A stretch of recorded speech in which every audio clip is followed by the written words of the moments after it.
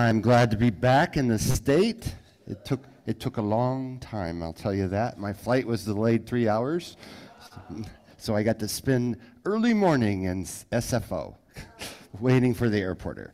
So, uh, my conference was in North Carolina at uh, Montreat, and it was a good conference. However, I found when I got back on Saturday that one of my faculty members was came, came down positive with COVID. So I'm being safe with you all. So far, I have tested not negative, and I hope I do. I don't really have any symptoms except that I was in North Carolina for a week and my allergies were going nuts. Um, so um, I will be safe and sorry, and this prevents me from singing at you, so you're even safer. So, but anyway, we're glad that you're here this morning, whether you're here in person or on, on Zoom. Uh, we are glad that you are here to worship with us as we celebrate our own journeys in faith. No matter where you may be on that journey, whether you're questioning or seeking or wondering, you're welcomed here. We are a manifestation of the UCC and Presbyterian Church and Community Presbyterian Church and East County Shared Ministries. But no matter where you are on your journey, we want to welcome you, as we like to say, no matter who you are or where you are on life's journey, you are welcome here. Are there any other announcements we need to have this morning um, other than the ones you have in the back of your bulletin? Oh, Donald. So, as many of you know, I am part of the Oakland Interfaith Gospel Choir, and if you go to oigc.org, uh, tickets for the Christmas concert are already on sale. So go on there and get your tickets. I think we're really starting to push for it. So yeah, um, just check it out. All right. Thank you, Donald. Any others? Our prayer families this week are Angeline Rosenberry and Joan and Ken Schmidt. Uh, prayer churches are Community UCC in Pescadero and 7th Avenue Presbyterian Church. Guess what avenue they're on? 7th Avenue in San Francisco. And our birthday celebrants this week are Merdell tomorrow, and Shannon Arsenault on August 20th, and Louis Birch on August 21st. Anniversaries this week are Joanne Chambers and Lynn Lofton on tomorrow, and Jim and Leah Becker on August 21st. So let us join together and sing happy birthday to all our birthdays. Happy birthday. Happy birthdays to you and many Should we just leave you the microphone so you can sing?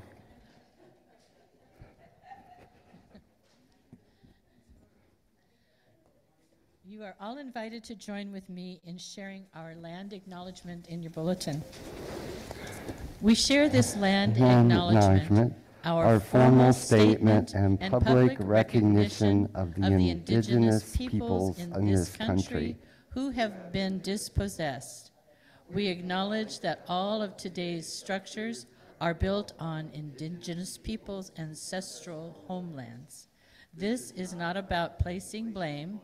It is the first step toward building a more inclusive future where we eliminate the ongoing erasure of indigenous peoples' voices, lives, and history. Our statement provides an opportunity to seed the path for learning and for respect to blossom and grow. Uh, Donald, would you pour the libation while I read the invitation to it? Okay. Thank you. Libation, as part of ancient society, was a drink offering to honor and please sacred ancestors, humans present, and humans who are alive but not physically present, as well as the environment. It originated in Africa and spread throughout the world. In African cultures and religions, the ritual of pouring libation is an essential ceremonial tradition and a way of giving homage to the ancestors. Ancestors are not only respected in such cultures, but also invited to participate in all public functions. A prayer is offered in the form of libations, calling the ancestors to attend. Let's call out our ancestors, giving thanks and honor to them. And I start with my mom and dad.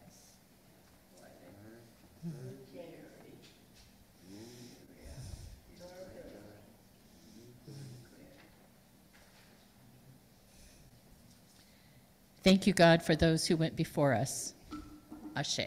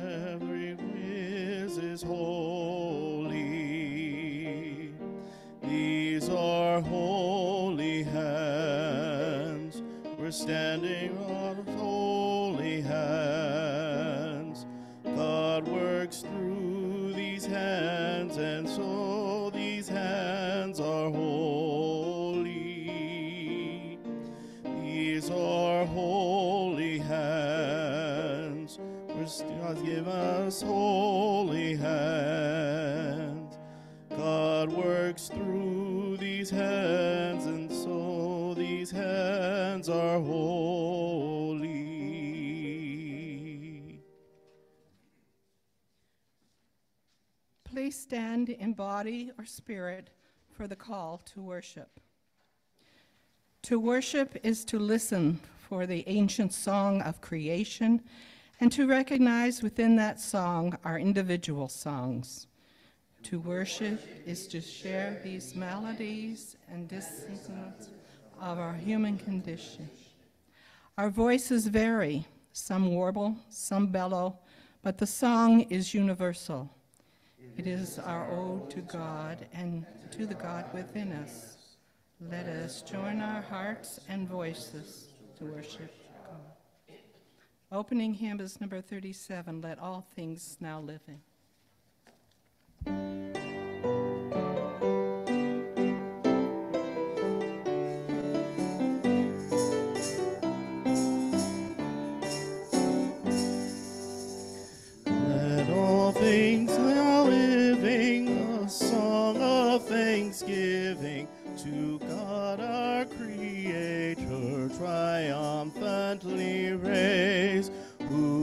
Fashioned and made us, protected and stayed us, by guiding us on to the end of our days. God's banner are o'er us, pure light goes before us, a pillar of fire shining forth in height, till shadows have vanished and fearfulness banished, as forward we travel from light unto light. By law, God enforces the stars in their courses, the sun in its orbit obediently shine. The hills and the mountains, the rivers and fountains, the deep of the ocean proclaim God divine. We too should be voicing our love and rejoicing with glad adoration. A song let us raise till all things now living unite in thanksgiving to pray in the highest hosanna and praise. Let us pray together. Gracious God, we gather this morning to add our human voices to the chorus of praise raised to you by wind and water and all life upon land. We come as we are, distracted and weary, hopeful and open, knowing that you accept us and are ever mindful of our cares and joys. Still in us now, many voices that clamor for attention, that we might center ourselves upon you. Speak to us, Spirit of life, in word and melody and quiet, that we may be renewed in our faith and strengthened for your service. We ask in Jesus' name. Amen. You may be seated.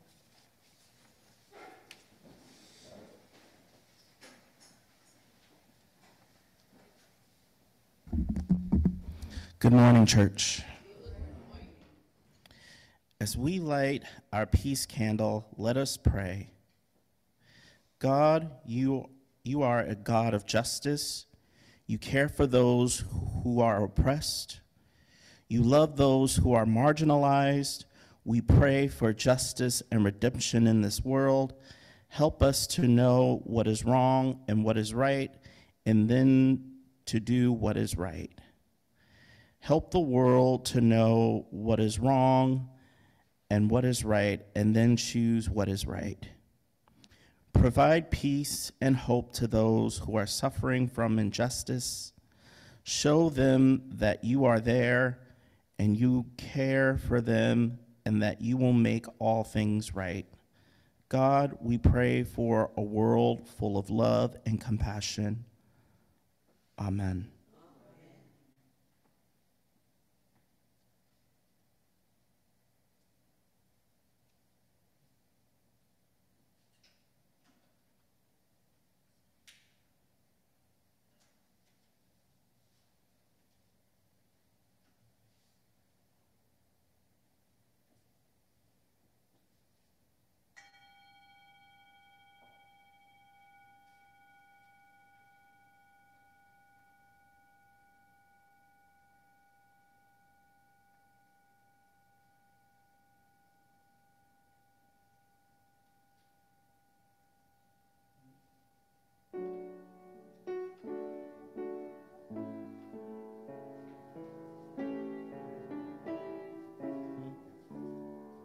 The peace of our Lord Jesus Christ be with you. Let us offer each other a sign of Christ's peace.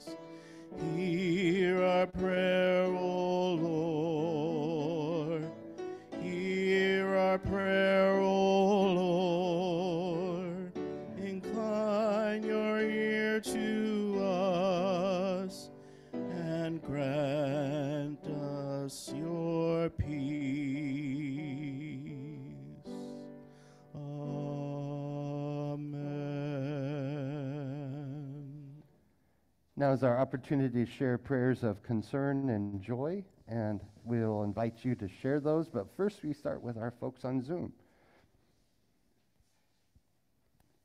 So on Zoom today, we have Briandy Brandon, Donna Henry, Rose Solorzano, and Tom Clement.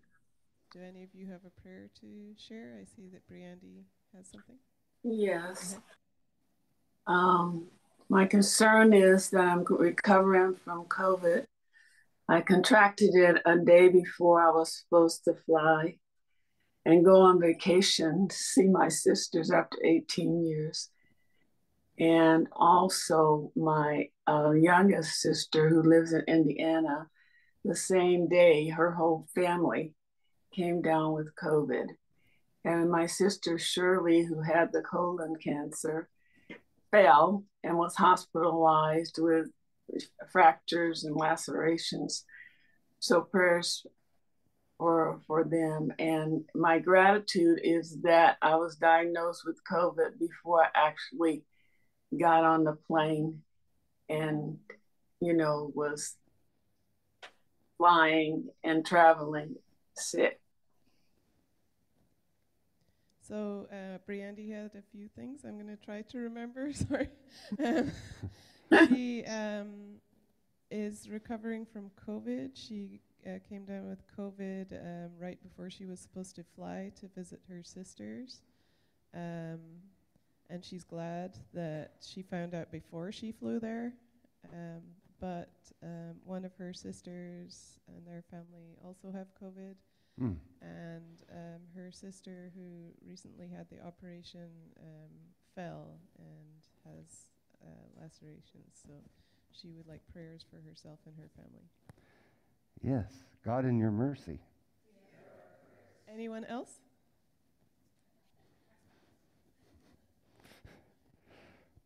Uh, okay. All right. Yes. Good morning, everyone. Let's greet uh, Roberto for a happy, happy birthday and wishing him more and more birthdays to come. And let's celebrate for the uh, transit after the service. Okay. Prayers in our joy, O God. Any other prayers? Yes, Elaine. Um, I just want to let you know, you probably may have heard that Pat had some tests on Friday um, that made her very nervous. But I wanted to sh- share with you that they all came back. She does not have cancer. That's the good news. So we may not be sure what it is, but we know what it is not. Yeah. Yeah, God in your mercy and our thanksgivings. Others? Donald?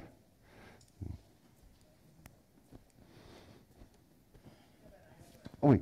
Go ahead, Donald. Oh, you could take her. Oh, You could take her first. He's going to let you, I guess. Donald always wraps it up for us. Um, prayers for Shelley Persing Ambrogi and her husband Matt. Their baby is due soon, and it'll be Sherry and Chris's first grandchild. Oh, nice. Lord, in your mercy and joy. Our youngest grandson, Aiden, turns nine this week. Ah, God in our joys. Say it again so that folks on Zoom can hear you. Prayers for Bill and Barbara because they haven't been on Zoom. Uh, Lord, in your mercy. Aha, Sherry. First, for our friend uh, Linda Strayer in Oregon, friends of ours for 50 some years. She's starting on a cancer journey. She's just had her port put in for chemo. She's having a really hard time. They think this is going to work, but still, we pray for her along the way. Yeah. Prayer, Lord, in your mercy. Hear our prayer. Any others? I think you get to go. Okay. Um, so um, I just learned this week that a friend of mine, his name is Melvin Arcega, he passed away.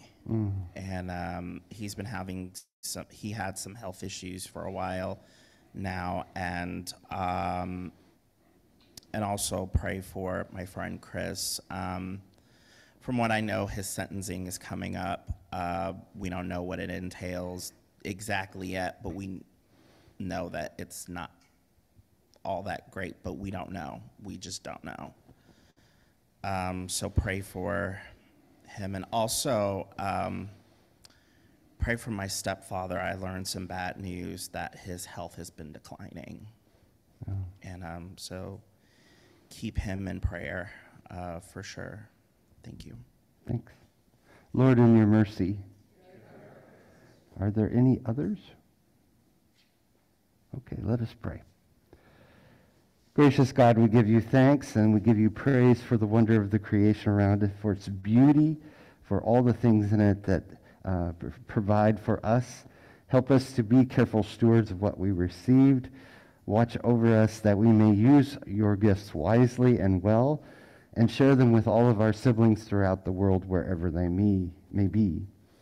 We know that you are always active in our lives, granting us your peace and your comfort to watch over us with love and grace. We pray for all those we have mentioned this morning. We pray for those who are in the midst of mourning, for those who need your healing touch, for those who may be anxious, for those who are searching. Guide them with your spirit and your wisdom. Help us to be your faithful people as we hold one another up in prayer and love. Let us pray for all those that we have not mentioned, for those that we hold close in our hearts, and for those we don't know. Let us pray together in silence.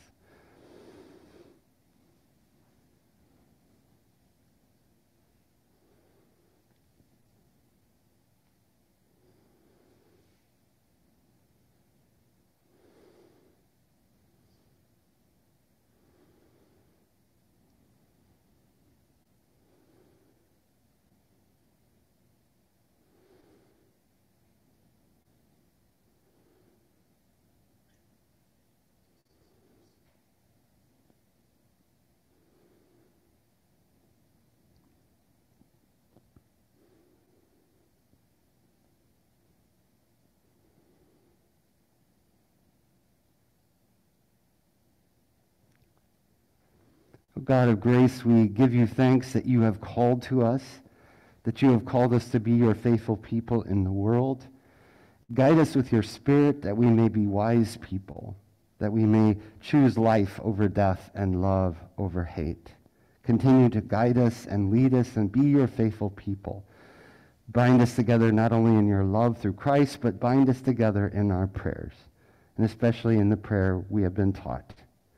Our parent, who is among us. Blessed be your creation.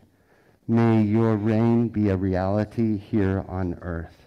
May we become more interested in building your kingdom here and now than in waiting for it to come down from above. Let us share our bread with those who hunger. Let us learn to forgive as well as to receive forgiveness. Help us through this time of temptation, delivering us all from evil. For ours is the eternal blessings that you pour upon the earth. Amen.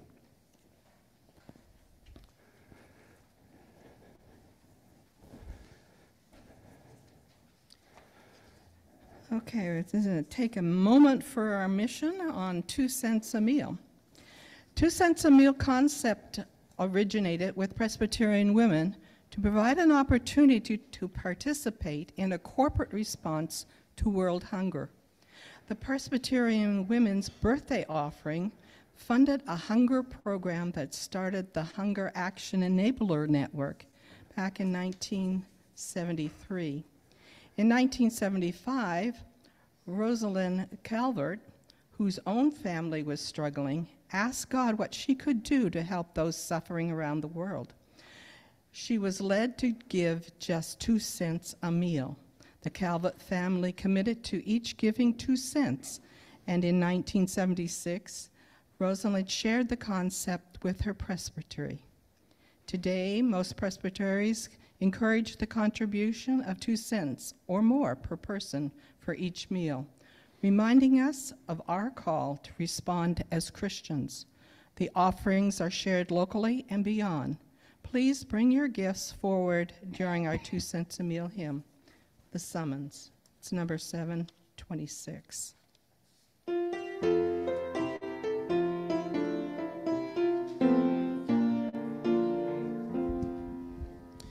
Will you come and follow me?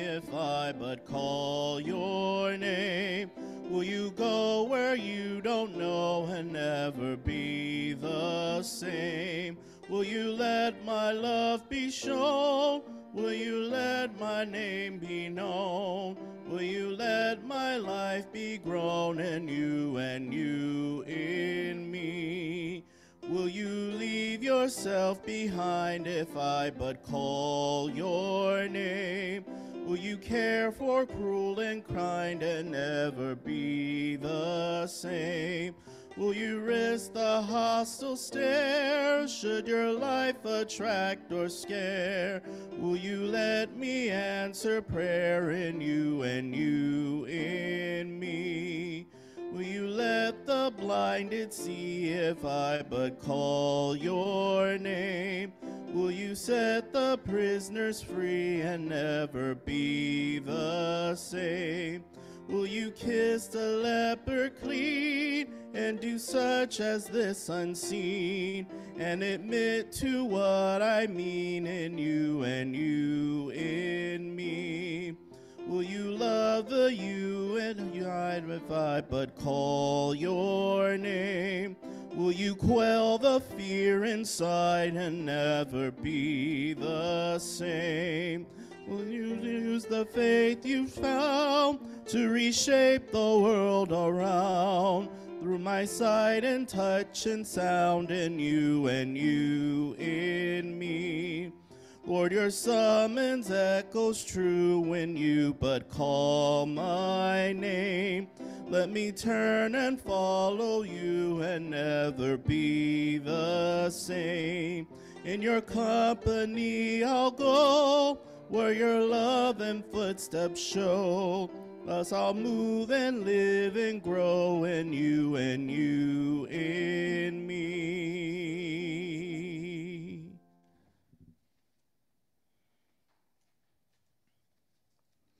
Our first reading today is Proverbs 7, verses 1 through 6 in the NRSV, which stands for the New Revised Standard Version. Wisdom has built her house. She has hewn her sever- seven pillars. She has slaughtered her animals. She has mixed her wine. She has set her table. She has sent out her female servants. She calls from the highest places in the town. You who are simple, turn in here. To those without sense, she says, Come, eat of my bread, and drink of the wine I have mixed. Lay aside immaturity and live, and walk in the way of insight.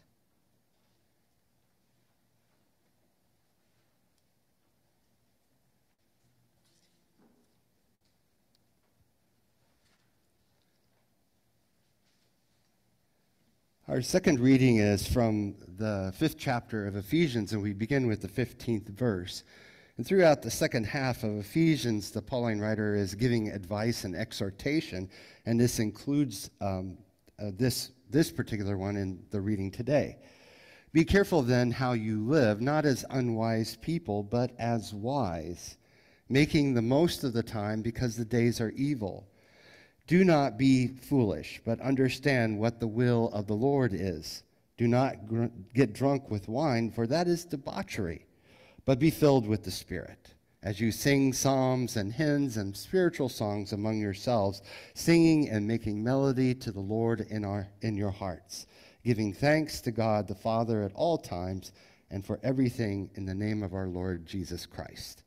This is a word of God. All creation is a word of God. So, our readings today led me to ask the question, partly through some of the commentaries what is the good life? What is good life? And so, the Oxford Language Dictionary defines the good life in its first definition as a, a pleasure and material goods and delight. So, I thought about that and I said, hmm, that's an interesting definition for good life. So I wondered, and it led me to do a little bit of search on the internet, which is part of the fun of this, all right, is uh, what commercials have the good life in them? Well, the first commercial that popped up and kept popping up was for Disneyland. and further searches and a little bit more de- in depth led me to um, LG appliances, Slumberland furniture, Miller High Life, and Kia. So I wondered, is this, is this what it is? Is the good life being in a house filled with Slumberland furniture and LG appliances, drinking Miller High Life and driving your Kia and going on vacation to Disneyland? I heard a no. so if we look at the Hebrew Bible, we would hear the writers there probably proclaiming something different. As you may know or may not know, is that in Judaism, the Hebrew Bible is called the Tanakh, which is uh, three initials, T and K. And the T stands for Torah, which are the first five books of the Bible. And sometimes we Christians call the Torah the law. Uh, Paul did that. But really, a better understanding of the Torah is instruction how to live faithfully to God and to one another. The other, part, uh, the other parts are the Nevi'im, which is the Hebrew word for prophet. So all those prophets that you read in the Hebrew Bible are the Nevi'im, and usually take up about the last half of the, of the Hebrew Bible. And it, the other part, the remainder, is called the Ketuvim, which includes things like Ruth and all those history books ranging from Joshua to Chronicles, uh, Ecclesiastes, Psalms, the Proverbs. Um, I think I said Ruth, Ezra, and Nehemiah. And Proverbs and many parts of the Psalms are sometimes called wisdom literature. And wisdom literature is a guide or, or literature that uh, encourages the reader, the believer, to follow God's instructions. Because the wise person is the one who lives faithfully by following the instructions, right? So the writer said, you know, the writers say, and especially in Proverbs, is that part of the way that we follow God, the way we remain faithful and wise, is by keeping the commandments. Now, I'm not talking about the Ten Commandments there, but what are known as mitzvot.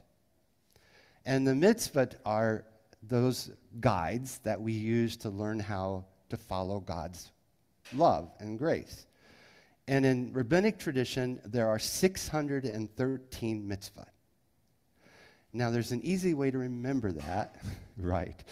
Is 365 of them, the number of days in a year, 365 of them are negative mitzvot. And what we mean by that is uh, these are things you shouldn't do, right? And 248, which in Hebrew tradition, I know Carol's going to correct me on this, but in Hebrew tradition, it's the number of bones in a human adult body. Easy to remember, right?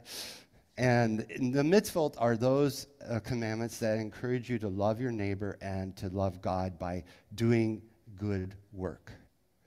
In fact, you know, as one of the examples I got of a mitzvah was when I was in the Kiwanis here in Pittsburgh.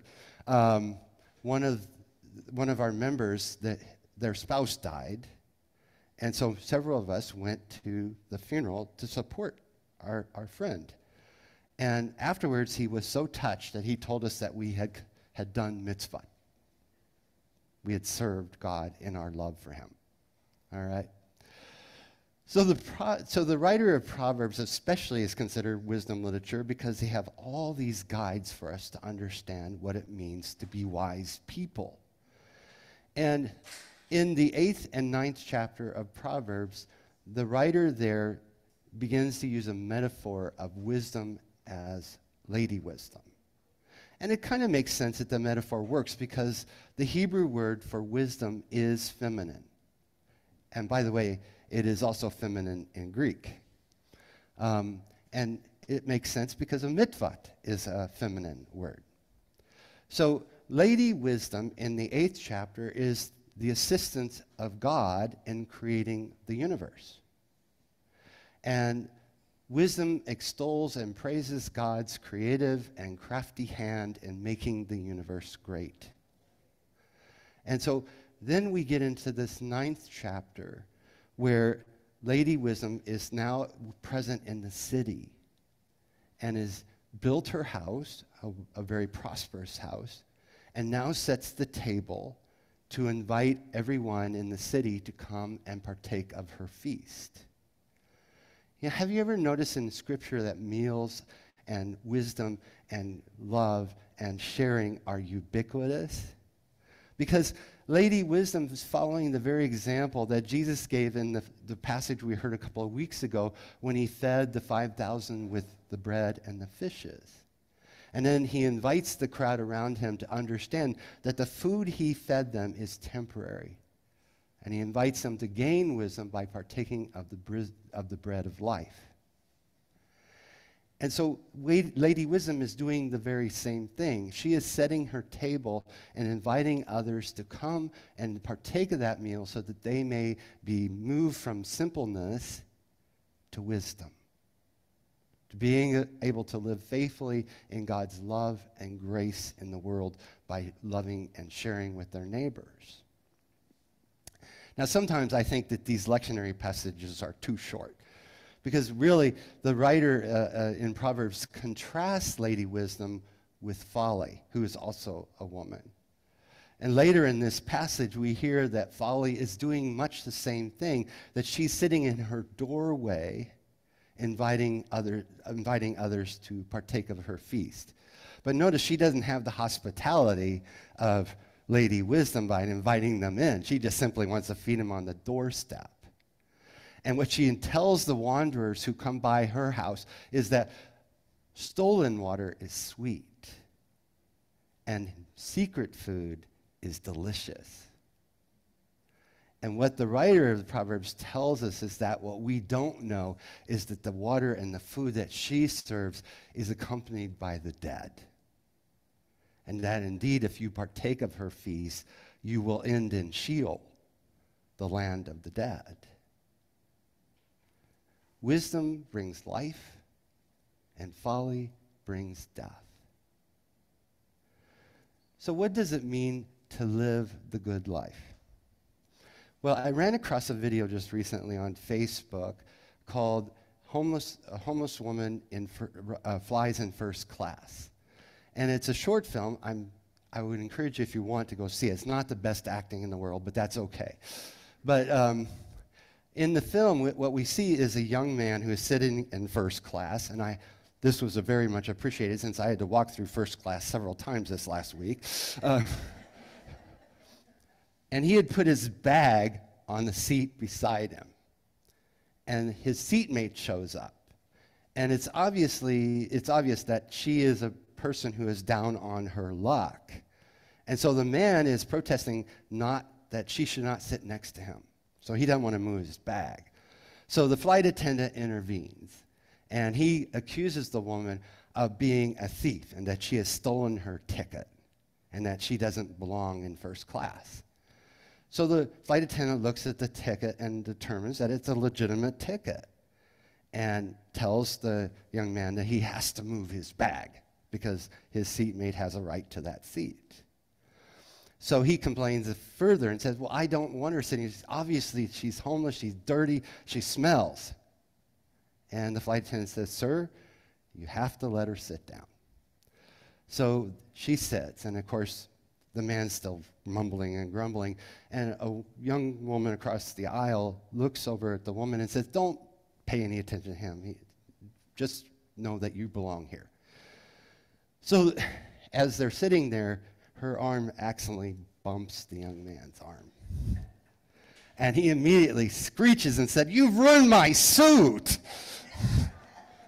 and, he, and the flight inter- attendant has to uh, uh, intervene again. And the young woman across the aisle says, Look, let's stop all this. Why don't we exchange seats? So the young man and the young woman exchange seats. He's glad to do that. Get away from her. So Again, the young woman tells the, the poor woman that, please don't pay any mind of that guy. You know, he's, he, he's just lost himself. And they begin a conversation, and she introduces herself as Amina, and the, the poor woman introduces herself as Anne, and they talk. And Amina tells Anne that she's excited to be on this flight. She's never flown first class before, but she's going for a job interview, and her potential employer has provided the ticket so that she can fly uh, comfortably to her interview. And she's excited about this possibility because this job is a dream job for her. She is going to be able to work for a nonprofit, bring her life together, and help her family. And it is the dream job that she's been looking for. So the next scene shows us with the young man in an office, and he's sitting in front of a desk, and the person behind is obviously the boss or the CEO of, of whatever company is involved. And the CEO is asking the young man, he goes, Why do you want to work here? And he's saying, Well, I, I really appreciate the work your company does, and I want to uh, participate in it. And the, the man says, Well, I appreciate you being here and on time. And he says, Yes, very important for me to be on time. And then the, he says, We have two candidates. And that's when, guess who walks in? Amina. So she sits down. And so the, the CEO is talking with them about why they both want to work for this non, nonprofit. And Amina uh, tells him that at one point in her life she had been homeless. And now she's beginning to turn her life around and she wants to help others. And she sees her work in this company as being an opportunity to pay back. And the young man sniffs and says, Well, I didn't need to be homeless to have compassion. No sarcasm. and so the CEO says, You know, this has been a very interesting process for us, and you are our two final candidates, and we wanted to find out a little bit more about you. And so I want to introduce you to my colleague. Uh oh. so in walks Anne. Yes, exactly right. So the CEO says, you know, this is important work, and we want to we want to live what we believe at this corporation. And so we want to do a little test and find out if you really believed or lived the way that we uh, that you proclaim. And of course, the young man immediately realized, uh-oh. Uh, he says, "This is not fair. You tricked me." And the CEO says, Well, I think we, and who should we choose? And Amina, of course, gets the job. And the young man still is not going to give up. He continues to protest until finally security gets called and escorts him gently out of the room. All right. And that's the end of the, that's the, end of the video. Now, okay, it's a bit hyperbolic, right? It's a bit predictive. But I think sometimes things like that, that are hyperbolic and, and predictable, are just like what the Proverbs wrote.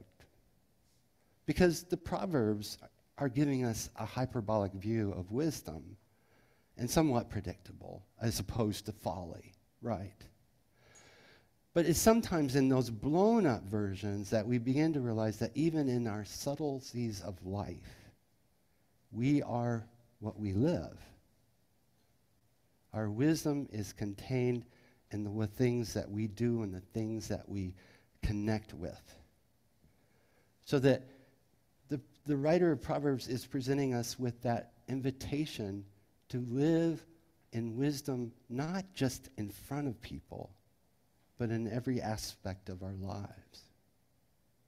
I think both the authors of Proverbs and the author of the person who wrote, or the author who wrote the letter to the, to the Ephesians, are inviting us to see wisdom as part of our lives. Obviously, for the writer of Ephesians, it's got a Christian bent to it, and it's tying, though, tying Christ into wisdom. That following Christ is a wise way to live. That following Christ is a participation with God's love and grace.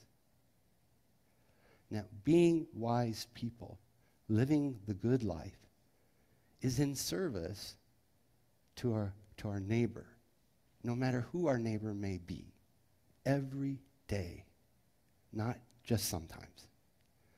And that we, by living that wise life, are participating with God in God's loving grace and in God's compassion for a hurting and broken world. If we all can live wisely, what a difference it would make. Amen.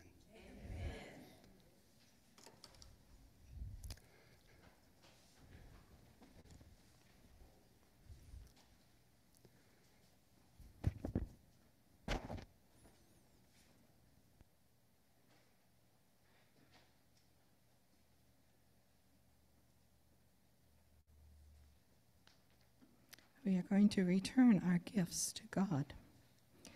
We have heard God's word and now accept the opportunity to share our gifts as God has shared with us. Please bring your gifts forward during the offertory. If you prefer online or mail in giving, instructions are provided in the announcements and e blasts. May God add blessings to all we do, all we give, and all we receive.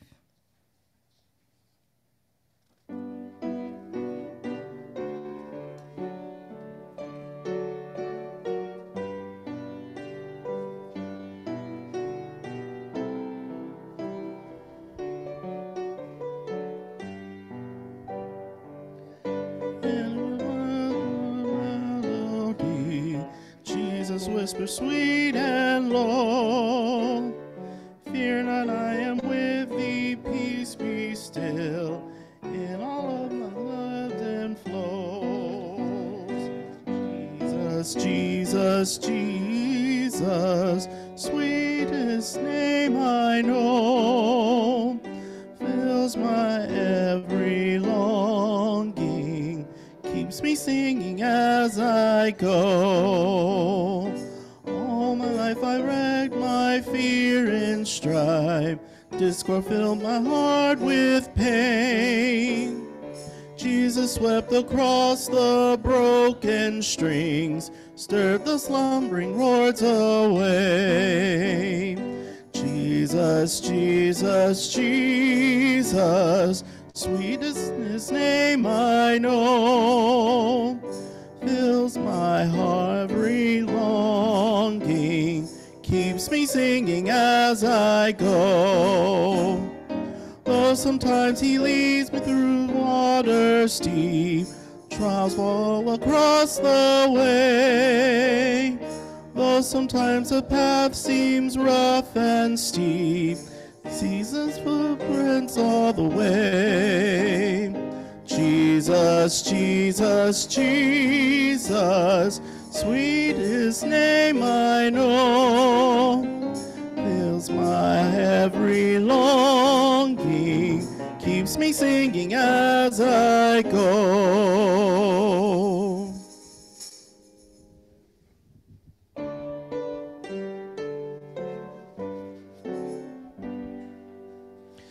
Praise God from whom all blessings flow. Praise God, all creatures here below.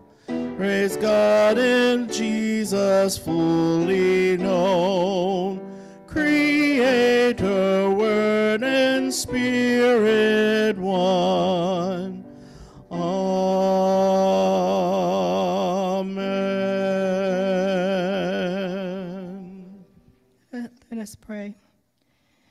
God's beautiful creation overflows with water, sunlight, and soil to grow our food.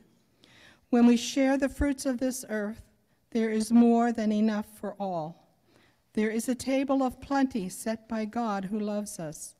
At this table, all are fed, and still there are gifts overflowing into the world God loves. Let us gather our gifts together and offer them in gratitude and praise. And the people of God said, Amen.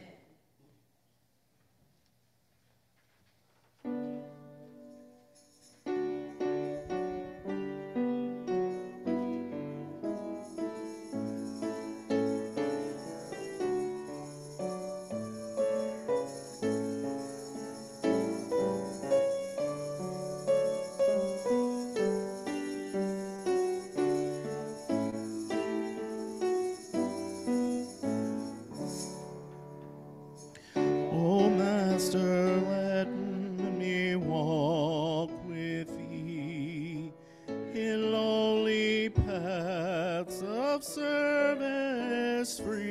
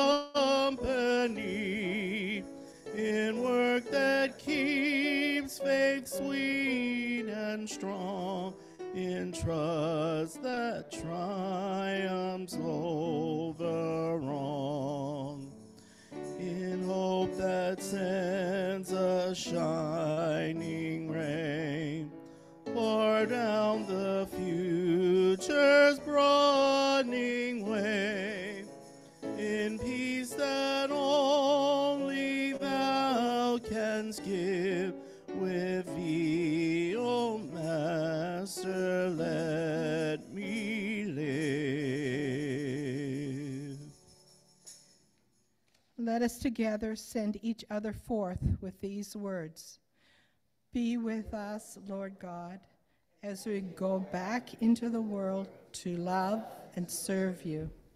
May the lips that have sung your praises always speak the truth in love. May the ears that have heard your word be open to all that is good. May the feet that has brought us to this house of prayer always walk in your ways through Jesus Christ our Lord. Amen. Friends, go into the world and know that the good life is a wise life, a wise life of sharing and loving and extending God's grace to all the people we may meet in our lives. And may the grace of our Lord Jesus Christ, the love of God, and the communion of the Holy Spirit be with you all. Amen.